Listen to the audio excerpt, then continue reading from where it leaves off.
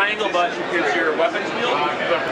Square button is to reload. But you can always just pulse this as well to reload. Does the bottom one work? No, not right now. And then what's going to happen, the navigation controller, this obviously moves you around left to right. I tell people